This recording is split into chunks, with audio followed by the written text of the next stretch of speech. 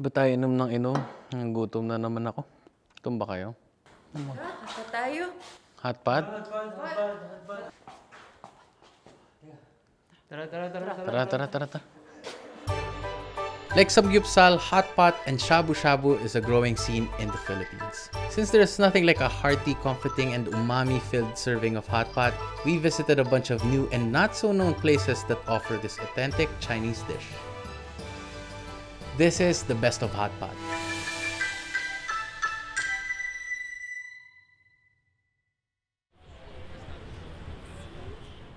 So we are at our first stop. Sobrang lapit lang sa studio. It's Wow Cow Hot Pot. They have lots of branches. They have one, I think, in Pasay, Makati. So I'm super excited. Tapat lang to ng Landers if you guys are having a hard time looking for it here. It's in Uptown Parade Mall.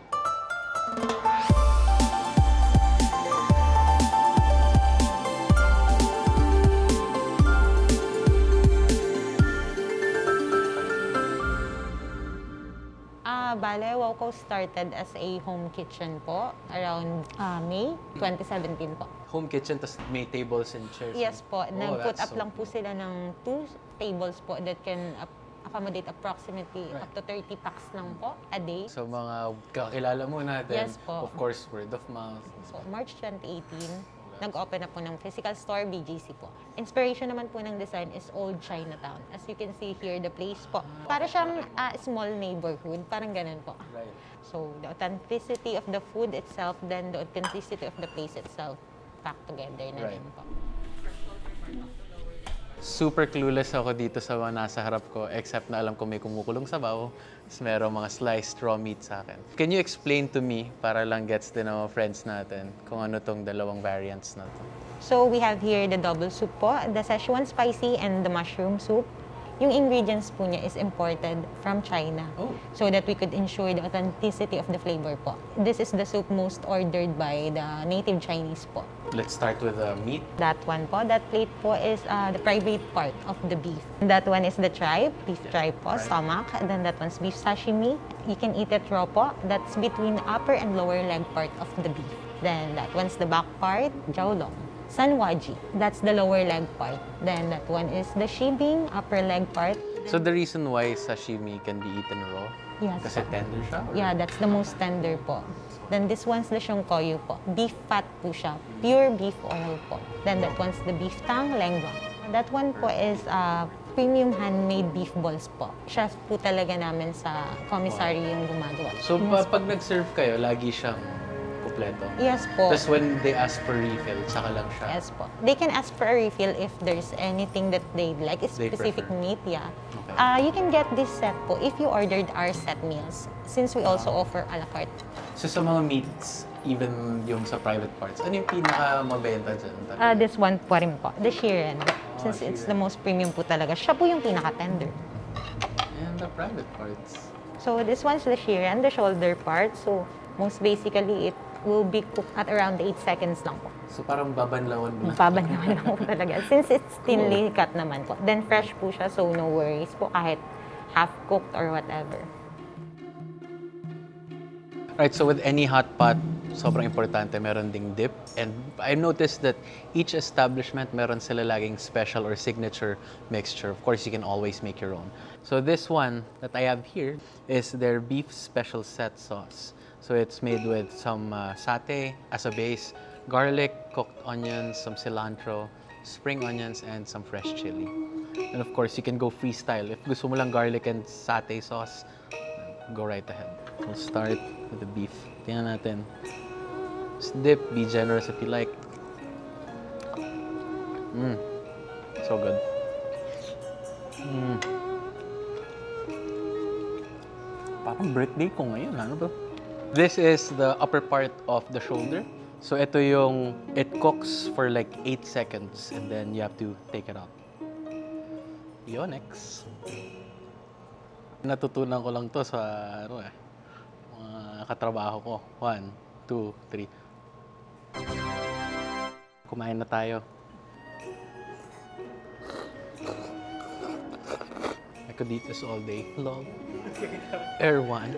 You know, I grew up eating hot pot. Like, hot pot was my generation's samgyupsal. Pag special occasion or pag bonding, nung time na yun, ah, there wasn't really much attention to what type of beef, which part. You just get beef, get pork or chicken or seafood.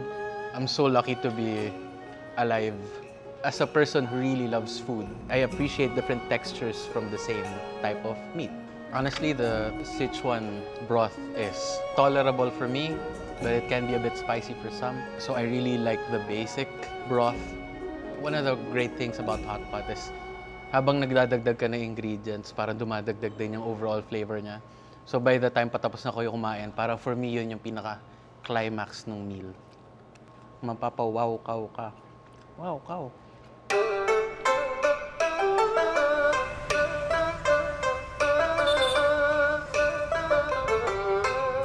kaw. Right, so after BGC, we are now in Makati at Jiangnan Food.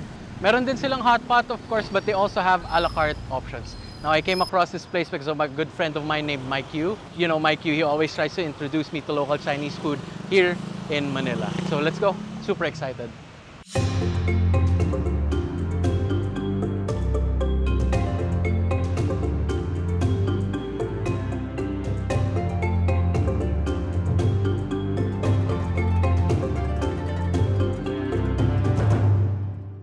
Sir, ito po yung ano namin, ah, mga exotic na pagkain. Ooh, Ito po yung pork brain, tapos uh, duck intestine po. Pork kidney po. kidney. Pork belly. Lamb po. Anong fish to? Ah, cream dory po. Then US beef po. Alright. Ang dami Tapos, pala. Ano yung- ulit to? Bacon po. Tapos ito yung handmade noodles na kami mismo yung gumawa. Cheese ball. Konjac nut noodles po. Ito yung squid. Squid. Lotus, root po. So, ito yung king oyster mushrooms. Ah, assorted balls po. Cool. So napansin ko, yung amoy pa lang nung broth nyo kakaiba na. Yung mga ingredients po niyan galing China po talaga. Ah, dito po sa kabila po isa original soup. Pork base. Then dito naman po sa kabila isa mild spicy po. Ito po yung ah, signature sauce namin, ah, peanut sauce po. So kapag nagda-dine in, naka-pre-made na to kukunin. Yes po. Pero pwede silang mag-adjust or gumawa ng sarili. Yes po. Ah, okay. Um, Astig. kasi hindi naman po maanghang. So, Ah, hindi maanghang. yes Okay, po. perfect akin. po siya. Super excited kasi from what I recall, sobrang sarap nitong special sauce nila. Solid. Mm. Honestly, since I like sweet food, perfect sa akin yung special sauce nila. Mm. So you guys might be wondering why they have so many exotic ingredients here or options. This is the owner, who's uh, full Chinese from the mainland, wants to bring culture and food here in the metro. Sakto lang. What better way to do it than with food, right? Hindi to exotic, by the way. Baka isipin yung exotic to, hindi. Mamaya na yan. Right, so this is, sinasabi nilang binabalik-balikan here, it's the Chinese plum juice. TBH, I'm unfamiliar with how it tastes. Kasi familiar lang ako yung nabibili mo sa mga Korean stores. So, love it. Mmm. Sarap.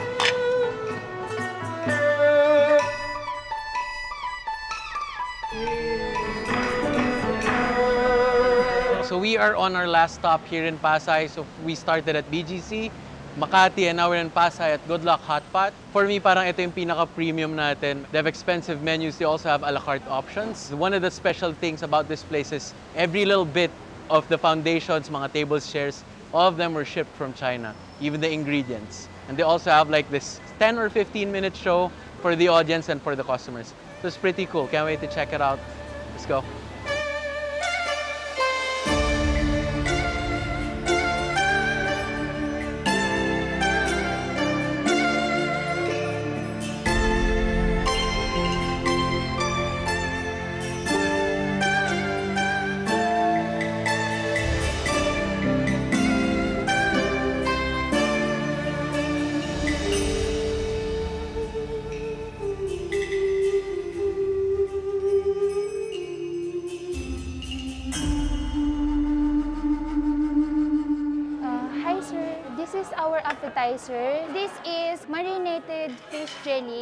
Spicy and sweety. And the next is blueberry yam, also sweet.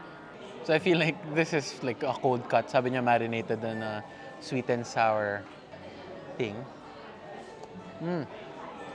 Parang yung uh, familiar texture that we get from our cold cut platter. You know, Chinese restaurants like jellyfish. Super good. This one is the steamed yam with blueberry syrup and some sprinkles. I get why people order this a lot, but I seem to like this so much more. The acidity really gets your appetite going. So. As recommended by the staff, I tried their signature sauce, which was thicker and definitely richer than the other recommended sauces earlier.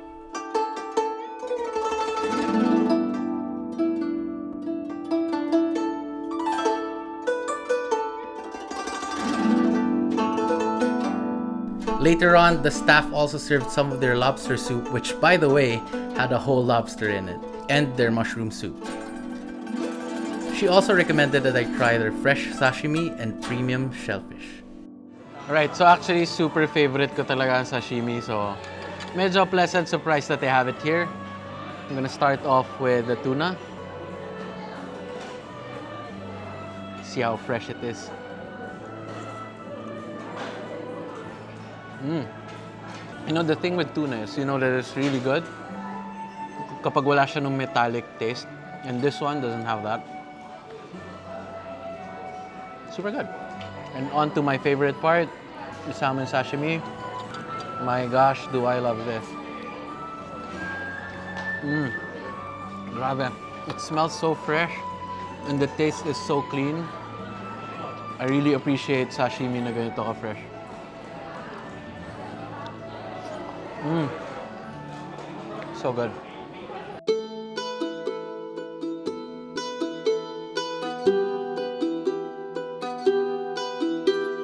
So they have like these different platters, perfect for almost all of their types of broth. Hindi ko na rin nakikita kung sino nasa harap ko, but I can't wait to try everything though.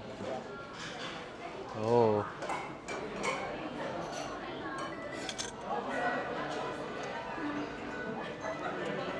You know what?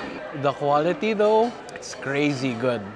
You would understand why the price is the price. Is that the, uh, am I making sense? Since this is my third hot pot, probably not. Moving on from Meat Mountain to the Meat Flower, definitely the difference would be you don't get the variety, but the quality, mm, man, super different. And I get it, even the presentation, everything smokes. Mm. Mm. You guys need to try this, man. Out of all the places we've gone to, Good Luck Hot Pot is definitely the most premium in both the location and ingredients. You know, this is the type of hot pot that make the whole table silent because of how impressive the presentation is and how high the quality of the ingredients are. At this point, I couldn't think straight anymore. My blood had been replaced by broth, and we just enjoyed the feast. You can definitely go all out here, but they also have more budget-friendly sets in their menu. So we've had this before with Anson for our Chinese New Year episode. I hope you guys can check that out once again. That, that's actually how we discovered the uh, Good Luck Hot Pot and came up with the idea why not do the best of hot pot, right? So again, this one has fruits, nuts, sago, gulaman, dark brown sugar syrup, toasted sesame seeds. Mm. We have here the classic fruit platter. Alam na natin kung ano yung mga nakalagay dyan, but it also depends on how many people were on the table. So ito, complemented with this. I mean, what more could you ask for for a great ending to this? You won't ask for cake after having such a big meal. So this, this, perfect. Mm. What's not to love about hot pot? This dish is easily the superior soup in my book. It's filling, nutritious, and best of all, very delicious. We Filipinos also love a DIY adventure, so give these guys a visit for a legit hot pot and shabu shabu fix.